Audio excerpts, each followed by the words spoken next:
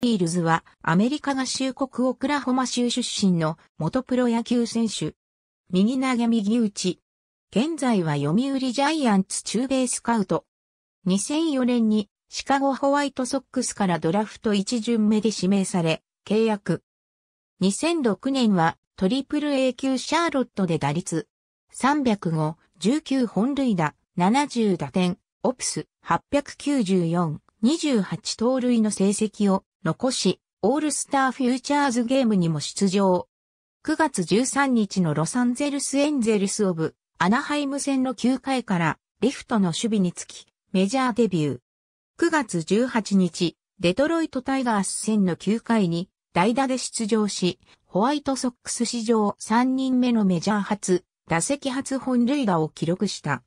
2007年は腰を故障したジョー・クリーディに代わり、6月から三塁手としてメジャーに定着。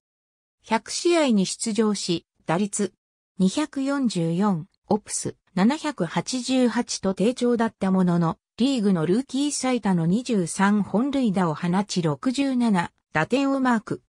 特に9月の第3週目には21日のミネソタツインズ戦でヨハン・サンタナから2本塁打を放つなど打率525長打率1.190と打棒が爆発し、週間 MVP を獲得した。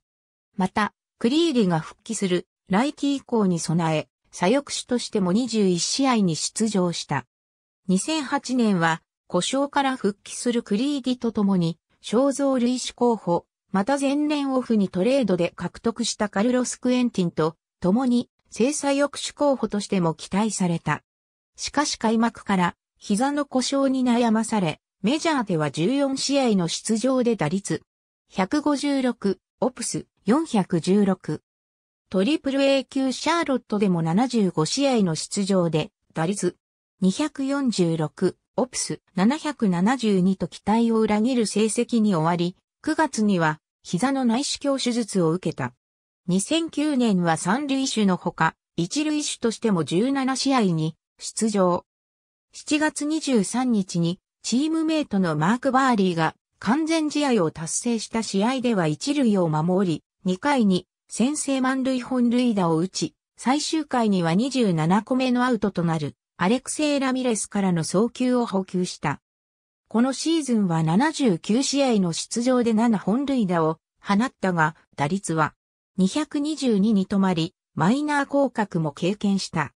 2009年11月6日、クリス・ゲッツと共にマーク・ティーエンの交換要員として、カンザスシティロイヤルズに移籍した。2010年は、開幕から股関節を痛め DL 入りし、9月3日のデトロイトタイガース戦で復帰し、13試合出場。打率306、オプス810を記録した。12月20日にピッツバーグパイレーツとマイナー契約を結んだ。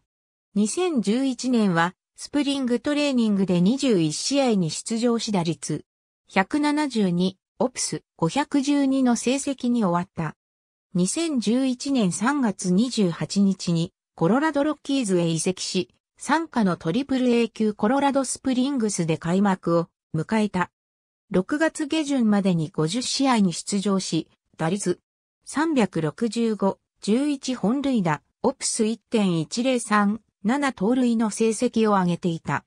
6月23日に読売ジャイアンツが獲得に動いていることが報じられた。6月28日に放出された。2011年7月1日に読売ジャイアンツと1年契約を結んだことを発表。年俸など総額50万ドル。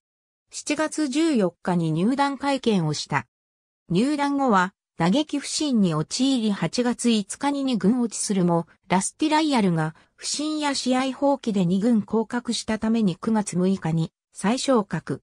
9月18日、中日戦でエンジェルベルト外からようやく来日初本塁打を放った。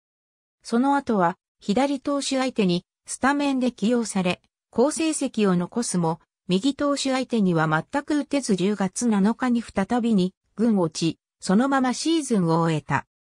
結局シーズントータルでの成績は打率202、2本塁打、オプス553と低調だったが、左投手相手には打率283に本塁打、オプス819と相性の良さを見せた。2012年1月4日にロサンゼルスドジャースとマイナー契約を結んだ。この年はトリプル A 級アルバカーキアイソトープスで133試合に出場して打率322、13本塁打を放った。11月3日に FA となり、11月16日にフィラデルフィアフィリーズと契約。2013年はトリプル A 級リーハイバレーアイアンピックスで109試合に出場。11月5日に FA となった。2014年はメキシカンリーグのカンペチェパイレーツに所属。2015年もカンペチェパイレーツと契約したが、5月6日に解雇となる。広角に打球を打ち分け、ポール・コネルコに勝るとも劣らないと評価された長打力を持ち味とする。左投手に強く、2010年までのメジャー通算で右投手には打率209オプス623だが、左投手には打率293オプス957を残している。